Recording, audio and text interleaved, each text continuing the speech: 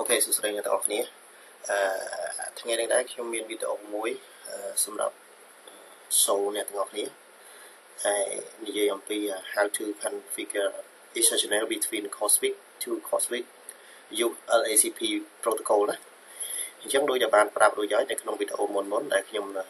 ធ្វើជាវីដេអូ introduction ក៏ដូចជាវីដេអូការ configure ពីចន្លោះពី router ទៅកាន់ switch ហើយ ខ្ញុំបាន detail វារាល់គ្រប់វីដេអូទាំងអស់ទាក់ទងនឹង mode របស់ Ether channel ហ្នឹងហើយក៏ដូចជា protocol របស់ Ether channel ហ្នឹងអញ្ចឹងខ្ញុំសូមបន្ថែមតិចណាបើន័យថានៅពេលដែលយើងធ្វើ enable service អឺ Ether channel យើងមាន mode អឺ on នេះមួយសម្រាប់ Ether channel only ហើយនឹង protocol LACP ហើយនិង PAGP ហើយក្នុង on នេះយើងអាចថាជា protocol ក៏បានជា mode ក៏បានពេលពេលដែលយើង enable service ហ្នឹងទៅយើងប្រើ on ទាំងអស់ណាប៉ុន្តែនៅក្នុងលេខ2នេះ LACP នេះយើងមាន active passive ហើយនឹងអានេះវាមាន auto ហើយនឹង desirable សម្រាប់ mode របស់វាប៉ុន្តែនៅក្នុង protocol មានន័យថាយើង select protocol មួយណាយើងអត់យក LACP ទៅប្រើទេគឺយើងប្រើ mode ផ្សេងណាប៉ុន្តែវាស្ថិតនៅក្នុងនេះនឹង protocol មួយហ្នឹង អញ្ចឹងខ្ញុំសូមប្រាប់ម្ដងទៀតតកតងនឹង LACP នេះយើងគឺជា standard protocol មួយដែលយើងអាចប្រើជាមួយនឹង other device បានអញ្ចឹងបានន័យថា device ផ្សេងៗយើងអាចប្រើ protocol LACP ហ្នឹងទៅហើយចំពោះ PAGP គឺយើងប្រើបានតែសម្រាប់ជាមួយនឹង Cisco device ទេអញ្ចឹងបានន័យថា device Cisco តាមមុខពុតដែលយើងអាចប្រើ protocol PAGP នឹងបានណា អូខេឥឡូវខ្ញុំថ្ងៃនេះខ្ញុំបង្ហាញបនទៅអ្នកទាំងអស់គ្នាពីចន្លោះពី Cosmic ទៅកាន់ Cosmic ណាអញ្ចឹងខ្ញុំព្យាយាមបង្ហាញអ្នកទាំងអស់គ្នាអឺ3វីដេអូទី1ហ្នឹងទាក់ទងនឹង introduction គឺខ្ញុំសូលអ្នកទាំងអស់គ្នាអំពី access speed រួចហើយអញ្ចឹងហើយវីដេអូទី2ខ្ញុំបានបង្ហាញអ្នកទាំងអស់គ្នាទាក់ទងទៅនឹងចន្លោះពី Cosmic ទៅកាន់ router ហើយឥឡូវយើងចន្លោះពី Cosmic ទៅកាន់ Cosmic ណាជាទូទៅការងារជាក់ស្ដែងគឺគេភាគច្រើនគឺគេប្រើបែបហ្នឹងណាអញ្ចឹងវីដេអូអស់ហ្នឹងគឺយើង apply ទៅនឹងការងារជាក់ស្ដែងទាំងអស់ណាអូខេអញ្ចឹងខ្ញុំមាន desktop 2ហើយខ្ញុំ design password ឲ្យវាទៅចំណុចមកផនទី3អូខេលេខ3ដូចគ្នាណា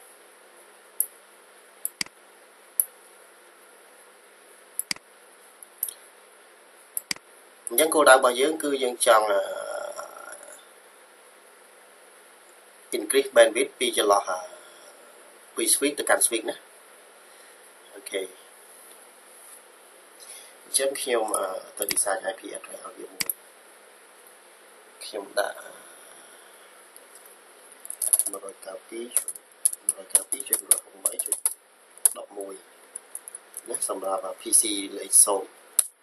ហើយ PC ទី1នេះខ្ញុំឲ្យ192.168.1.11អូខេអញ្ចឹងយើងអាចទាញគ្នាស្គាល់ណាយើងដាក់ IP នៅក្នុងនេះទៅយើងទាញគ្នាស្គាល់ហើយគាត់ថាវានៅក្នុងបែបនេះគ្នាអូខេគាត់ដាក់ IP ផង192.168.1.1វា50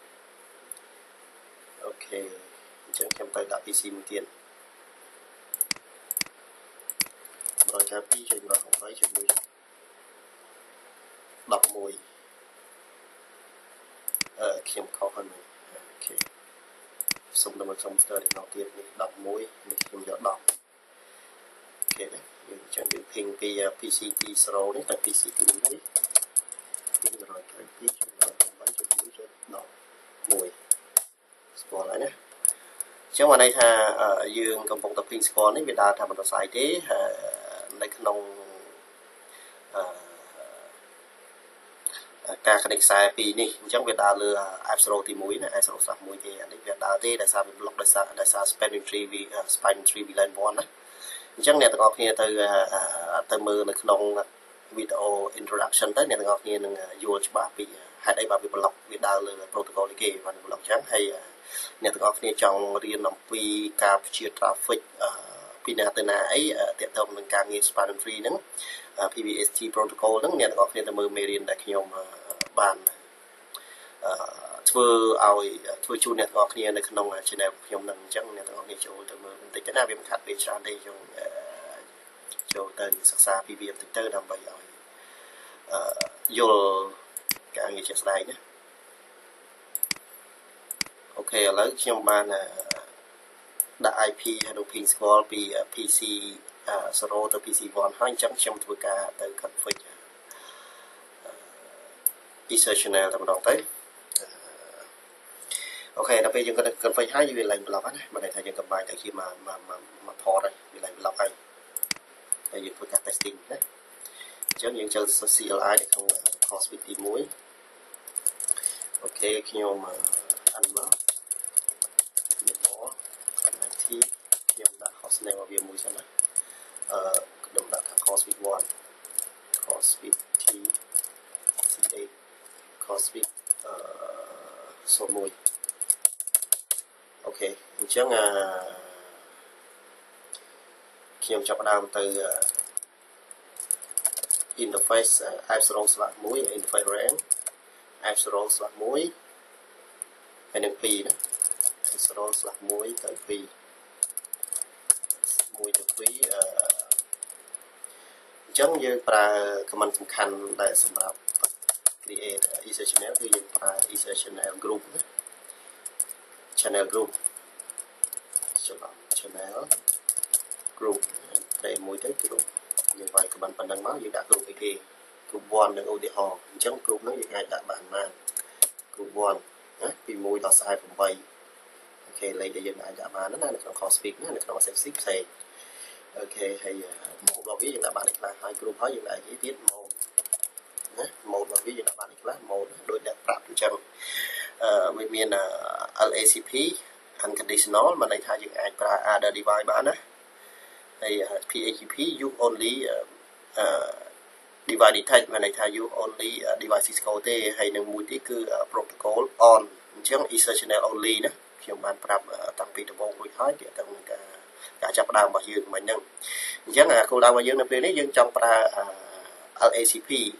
អញ្ចឹងនៅពេលដែលយើង select protocol LACP យើងប្រើ mode អីគេយើងប្រើ mode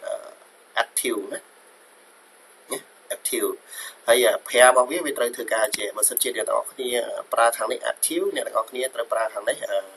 passive ណាបានវាត្រូវអញ្ចឹងបើសិនជាអ្នកទាំងអស់គ្នា active អត់ដើរទេណាហើយ Cisco វា recommend ឲ្យយើងមុននឹងធ្វើ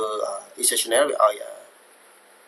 នៅពេលដែលយើងចូល interface rank ហ្នឹងវាឲ្យ shut down សិនទៅកុំឲ្យ error disable ណាដែលគេ recommend មកឲ្យយើងប្រើអញ្ចឹង មុននឹងធ្វើការ config អញ្ចឹងនៅក្នុង simulator នេះខ្ញុំអត់បានទៅ no shutdown ទេខ្ញុំខ្ជិលវាយ command ទៅមកទៅមកឲ្យយើងទៅអញ្ចឹងខ្ញុំក៏ប្រាប់ទៅអ្នកនរគ្នាធ្វើនៅ real product អីទៅអ្នកនរគ្នាចូល shut down សិនទៅមកវា error ណាអញ្ចឹងខ្ញុំសូមបន្តទៀតយើងជ្រើស mode ណាដល់ការងារជ្រើស mode យើងយកអូខេត្រង់នេះខ្ញុំយកអឺ active ទៅសអ A មក XAC active មកហើយយើងបាច់ AC មកហើយយើង tab មួយទៅវាស្គាល់ហើយហើយយើង enter វាទៅវាចាប់បានបានណាឃើញទេ trong ចំណុចនេះឃើញឡាពណ៌ទៅចូលទេមិនន័យថាមកគ្រប់នេះយើងយកជា active ហើយអូខេហើយឥឡូវខ្ញុំ AC វាមកខ្ញុំទៅ port ទី1មិញអូខេ port channel 1អឺ switch port ខ្ញុំទៅធ្វើត្រាំងឲ្យវាណាដោយសារវាជា layer 2 protocol អញ្ចឹងខ្ញុំ layer ខ្ញុំទៅឲ្យវា encapsulation ណាត្រាំង encapsulation.q switch port ត្រាំង encapsulation.1q អូខេ switch port mode ត្រាំងអូខេប៉ុណ្ណឹងមកយើង exit អញ្ចឹងបានន័យថាយើងចប់ក្នុងការងារធ្វើ research channel នៅក្នុង course week ទី1ហើយយើងទៅសូ research channel មើល research channel summary អូខេយើងបានធ្វើអីខ្លះអញ្ចឹងបានន័យថាយើងបានណា i i បានន័យថា standard alone standard alone អូខេស្អីគេទេនេះ LACP ណា អញ្ចឹងបានន័យថានៅក្នុង port ទី1ហើយនិង port ទី2យើងបានកំបាញហើយហើយយើងមើលស្អីគេនេះ ID standard alone នោះមិនន័យថាស្អីគេទំទំដើមមួយទេជាមួយយើងយើងចប់ cost ទី2យើងមក monitor ត្រង់ចំណុចហ្នឹងទៀតណាឥឡូវយើងទៅវាយ comment so functional មួយទៀតថាវាមិនដែរ functional យើងប្រើ protocol LCP ណា functional LCP i group 1ណាអូខេឥឡូវខ្ញុំទៅធ្វើនៅក្នុង cosmic ទី2អញ្ចឹងបានន័យថាយើងធ្វើនៅក្នុង cosmic ទី1ស្អីគេយើងធ្វើដូចគ្នាមកគាត់យើង change protocol បន្តិចតែ change mode យើងបន្តិចទៅបានអញ្ចឹងខ្ញុំអាច host name របស់វាទៅ cosmic cosmic tca cosmic ទី2 02 អូខេអញ្ចឹងខ្ញុំទៅ group interface របស់វាអញ្ចឹង interface របស់វា Astro ស្លាប់1ទៅ2ដូចគ្នាណា interface rank Astro ស្លាប់1 1 2អឺ Astro ណា slash អេសរ៉ូយីបើចឹង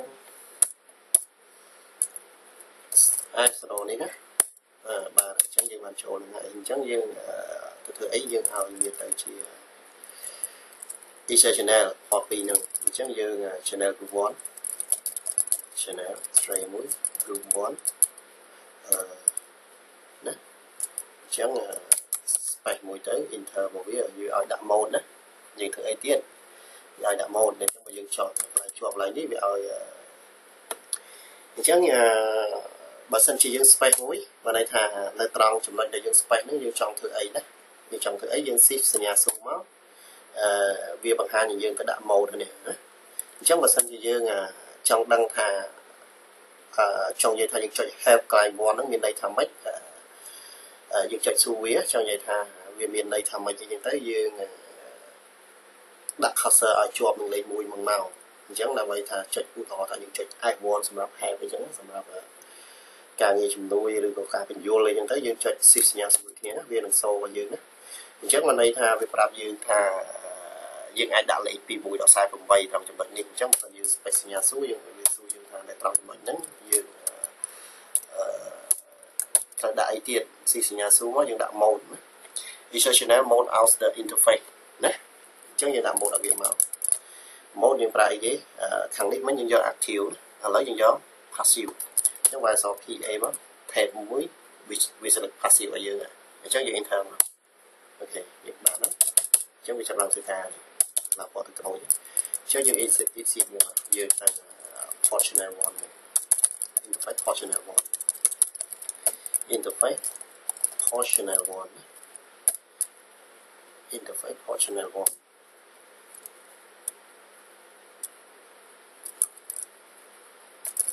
interface port channel 1 uh, modes okay interface port channel 1 uh, sweet port trunk encapsulation dot one q trunk encapsulation dot one q dot one q sweet port sweet port mode trunk អូខេយើងចប់ហើយឥឡូវឃើញវាដើរវាឡើងលុបណាអញ្ចឹងយើងអាចធ្វើការ ping test សាកល្បងពី PC អញ្ចឹងខ្ញុំទៅសូនេះសិនមុនធ្វើការសាកល្បងខ្ញុំសូសូវាមើលសិនណាសូ user channel summary summary អញ្ចឹងបានន័យថាមិញវាដាក់ថា stand alone ហ្នឹងបានន័យថាវាដើរតែម្ខាងទេមិញណា ដែលដាក់អក្សរ i នៅត្រង់ចំណុចនេះឥឡូវវាដាក់ p ណា port ទី1និង port ទី2 use protocol អឺ LACP ណាអញ្ចឹងវា p p ហ្នឹងមកន័យថាស្អីគេ in port channel ណាអញ្ចឹងមកន័យថាវានៅក្នុង port channel ហើយនេះវាកំពុងតែ app វាឡើង stand alone ហើយមិញវាដាក់ i ណាត្រង់ចំណុចនេះ អូខេឥឡូវខ្ញុំទៅពីងតេសហើយខ្ញុំធ្វើការ set down ខ្សែហើយខ្ញុំមកសូអ្នកទាំងគ្នាម្ដងទៀតណាឥឡូវខ្ញុំចូល course week ទី1ខ្ញុំសូហើយណាមិញខ្ញុំសូនៅលើ course week ទី1អា course week ទី2ឥឡូវខ្ញុំសូ course week សូ e search mail អឺ summary ណាពីដូចគ្នាណាដូចគ្នាទេអញ្ចឹងមកដៃថាវាអាប់ដូចគ្នាហើយអញ្ចឹងខ្ញុំទៅបាត់ PC ទីទី0នេះខ្ញុំ ping .t មួយចង់ ping 192.168ចុច1ចុច 11ខ្ញុំ .t នៅក្រោមដូចនេះ .t space 1ណាអញ្ចឹងមកន័យថាវាអាប់វាដើររហូតវាកំពុងដើររហូតដល់វាអាច ping ហ្នឹងអញ្ចឹងខ្ញុំទៅសិតដោនខ្សែមួយខ្ញុំទៅ disconnect ខ្សែមួយចោលអូខេគេវានៅតែអាប់ទេអញ្ចឹងយើងទៅសូមើលថាវាយ៉ាងម៉េចយើងសូ command មិញ summary អូខេវាប្រើអក្សរ D D1 ណាបានន័យថាយើង down port port ទី2អញ្ចឹងមកយើងបានន័យថាវាយើង disconnect port ទី2មិញវាត្រូវណាអញ្ចឹងយើងអក្សរ port ទី1អញ្ចឹងវាដាក់អក្សរ D D តាមនេះណា D down ណាអញ្ចឹងយើងរៀន monitor ទៅតាមហ្នឹងទៅថា port channel របស់យើងហ្នឹងវា up ឬក៏ down តើទៅនឹងពីរស័យហ្នឹងយើងទៅ run command មើលទៅវា show យើងទៅតាមហ្នឹងហើយអញ្ចឹងយើងទៅសូកន្លែងនេះដែរមក summary ណាអញ្ចឹងដូចគ្នាដោណាអញ្ចឹងខ្ញុំសូម connect វាឡើងវិញម្ដងទៀតថាវាសូអីគេដើម្បីឲ្យអ្នកទាំងអស់គ្នាមើលអញ្ចឹងខ្ញុំចាប់ដើមទៅ connect វាអញ្ចឹងន័យថានេះទៅអឺ traffic ហ្នឹងវាបានដាច់ទេយើងដាច់យើងដាច់មួយខ្សែហើយក៏វាដាច់ដែរព្រោះនៅសល់ខ្សែទី1អញ្ចឹងយើងក៏បាក់ speed ឧទាហរណ៍ថា speed យើង uplink មក 2G អឺ មួយជីលើមជីក្រោមអញ្ចឹងយើងបាត់មួយជីហើយនៅពេលដែលយើងសដោនខ្សែមួយអូខេអញ្ចឹងរំចាំតិចទៅចាំមើលខ្ញុំចង់សូអ្នកទាំងអស់គ្នាបន្តិចទាក់ទងទៅនឹងការ monitoring នៅពេលដែលយើង up interface មកវិញណាអូខេឥឡូវវាចាប់ដើមពណ៌ជាទូទៅ best practice នៅក្នុង LAN network អ្នកទាំងអស់គ្នានៅក្នុងការធ្វើជាក់ស្ដែងវានៅពេលដែលយើងដាច់ហើយយើងមកភ្ជាប់វិញអញ្ចឹងវាអត់មានតែការដាច់ internet ឬ restart ទេប៉ុន្តែនៅក្នុង Cisco simulator នេះវាដាច់អញ្ចឹងខ្ញុំសូមទៅ up interface ទាំងពីរនឹងមកណាខ្ញុំមិនដឹងថាវាហេតុអីបានដាច់ដែរអូខេវាដើរដោយខ្លួនឯងហើយអញ្ចឹងអញ្ចឹងមកន័យថាកំពុងតែជាប់មួយដាច់មួយអញ្ចឹងយើងទៅសូមមើលថាវាសូអីគេ វានៅអក្សរ P អញ្ចឹងបានន័យថាវា up ទាំងពីរនេះអូខេ up ទាំងពីរនៅក្នុង core switch multi layer switch អានេះ switch 01បានន័យថាវា up ទាំងពីរហើយណាតែវាអត់មានបញ្ហាទេអូខេឥឡូវខ្ញុំទៅ switch 02អញ្ចឹងវា up មកហើយហេតុអីវានេះវាអត់ដើរឈប់ អញ្ចឹងខ្ញុំទៅ file នេះមើលវិធីខ្ញុំ refresh វាបណ្ដោយ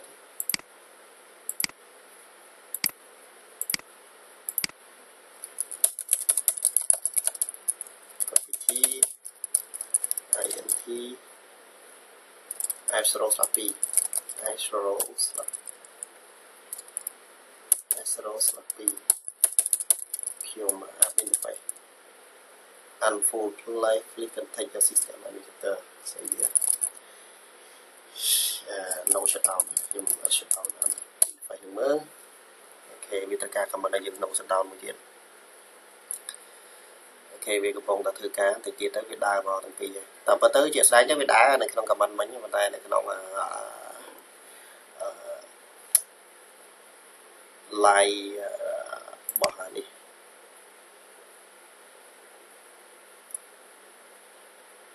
នៅក្នុង preference នេះ line line របស់វានេះនេះ disable ស្អីគេនេះយើងអាចសូយើងអាចអីនៅលើមកបានចូលទៅ edit ហើយយកទៅ preference របស់វាមកអញ្ចឹងនេះសូ link line នេះអញ្ចឹងវាអត់អាប់មិញណាអូខេអញ្ចឹងសូមរងចាំតិចណាវាកំពុងតែចរចាគ្នាឬក៏វាបានដាច់អានេះបាត់ហើយហ្នឹ យើងមិនបាន sell មិញអូខខ្ញុំមិនបាន WR វាពេលខ្ញុំទៅស្ដាប់ភាសា show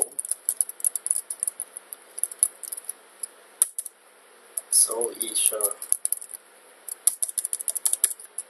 oh idea so Isha ជាអ្នកបោះជំនឿខ្ញុំភ្លេច sale ណាវា អត់ដើរ so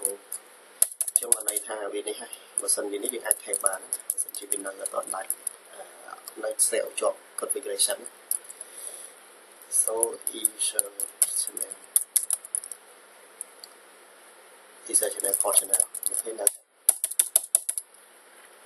អូខេចាំមើលមើលវាមកវិញនៅ zero passive zero LACP ផតទី1ផតទី2អញ្ចឹងវាអត់តដើរទេខ្ញុំទៅអាប់វាម្ដងទៀតមើល so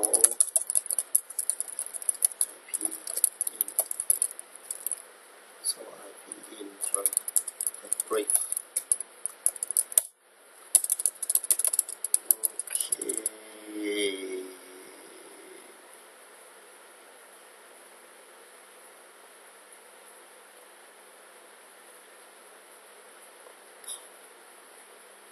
channel group 1 yes up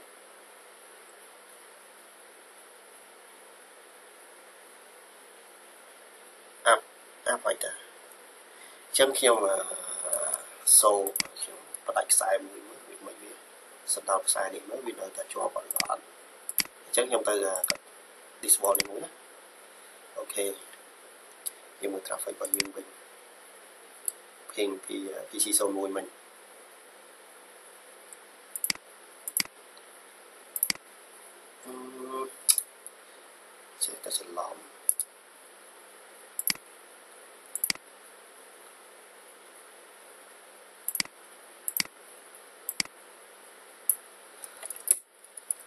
សង្ស័យអស់ទៅ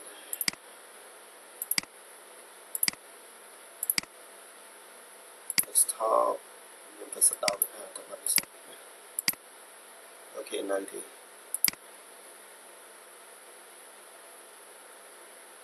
ចង់ហើយជាវា error កម្មវិធីហ្នឹងខ្ញុំតែខ្ញុំបើកច្រើនពេក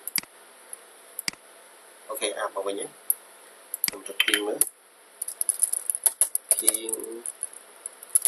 ping 192.168.1.11 OK វាវាស្គាល់តែគាត់ថាវាប្រើ link green ទៅក្រោយអញ្ចឹងណាអញ្ចឹងបានន័យថាវា link line របស់វាណាអញ្ចឹងបានន័យថាវាអត់តន់វាអត់តន់ដាច់ទេគាត់ប្រើទៅក្រោយអញ្ចឹងបានន័យថាយើងសូមវិញវាអាប់ហើយវាសូនៅក្នុងនេះរបស់យើងវិញនេះនៅក្នុង config នេះ so user channel e search channel port channel port channel យូរទៅបានន័យថាវានៅក្នុង port ទី2 port ទី2បានន័យថាវាកំពុងធ្វើការនៅ port ទី2 passive អានេះយើងប្រើ mode passive អញ្ចឹងខ្ញុំទៅសូមួយទៀត summary សូ summary របស់វាមើលអូខេណាបានន័យថា port ទី1បាន down ហើយ port ទី2បានន័យវាធ្វើការលើ port ទី2ទេណា ប៉ុន្តែវា error link line តិចអូខេអរគុណច្រើនសម្រាប់ការទស្សនាខ្ញុំសូមបញ្ចប់វីដេអូតែប៉ុណ្្នឹងព្រោះយើង verify អីដែរអស់ហើយណាអញ្ចឹងរាល់ចម្ងល់ឬក៏បងប្អូនមានបញ្ហាអីចង់ឲ្យខ្ញុំបង្ហាញអ្នកទាំងអស់គ្នាអញ្ចឹងអ្នកទាំងអស់គ្នាជួយ comment នៅខាងក្រោមវីដេអូរបស់ខ្ញុំមកគ្រប់វីដេអូដែលខ្ញុំផុសទៅអ្នកទាំងអស់គ្នាមានបញ្ហាអីអ្នកទាំងអស់គ្នា comment លើអឺវីដេអូហ្នឹងទៅណា ព្រោះថាខ្ញុំមិនដឹងថាអ្នកទាំងអស់គ្នាអឺឆ្ងល់អីទេពេលខ្លះអ្នកទាំងអស់គ្នាឆាតខ្ញុំតាមរយៈ Facebook អីអីចឹងទៅអា Facebook ផ្ទាល់ខ្លួនអញ្ចឹងទៅខ្ញុំមិនដឹងថាអ្នកទាំងអស់គ្នាចង់និយាយពីស្អីឆ្ងល់វីដេអូស្អីទេដល់ពេលអញ្ចឹងទៅខ្ញុំមិនដឹងទេអញ្ចឹងជួយ comment នៅក្នុងវីដេអូដែលខ្ញុំផុសទៅហើយវីដេអូមួយណាដែលទាំងអស់គ្នាមានចម្ងល់ឬក៏ចង់ក៏ចង់ឲ្យខ្ញុំ show អីបន្ថែមទៅលើការងារអស់ហ្នឹងខ្ញុំនឹងធ្វើវីដេអូជូនអ្នកទាំងអស់គ្នាណាហើយអរគុណសម្រាប់ ការ like ក៏ដូចជា subscribe ណាអញ្ចឹងជួយ share ទៅបងប្អូនដែលគាត់ទើបតែចាប់ដើមរៀន Cisco CCNA អញ្ចឹងទៅណាអញ្ញ្ចឹងឲ្យពួកគាត់បានព័ត៌មានបានមើលនៅវីដេអូដែលខ្ញុំធ្វើឲ្យពួកគាត់បានមើលផងជាការលើកទឹកចិត្តខ្ញុំហើយនិងជាការជួយពួកគាត់ក្នុងការស្វែងយល់ពីចំណេះដឹងបន្ថែមពី YouTube ពីប្រព័ន្ធអ៊ីនធឺណិតណា អូខេអរគុណច្រើនសម្រាប់អ្នកទាំងអស់គ្នា